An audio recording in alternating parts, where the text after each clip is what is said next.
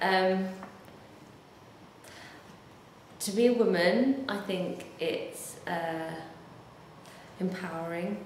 I think you can. Uh, I think it's easier for a woman to have a male side to them rather than a man to have a feminine side to them because if um, males are seen as the strong, confident, um, bossy type, but if a woman has that, then I think they're looked up to more.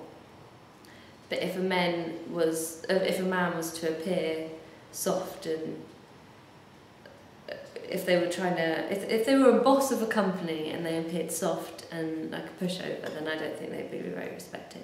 So I think it's easier for women to take on two types of personality. So they have their woman side of I'm an independent woman, blah blah blah, and then the soft, gentle side. And um, also, men complain too much about little things, and women have to go through so much more and don't complain as much. So that's why I like the fact that I'm a woman, because men moan too much, just moaners.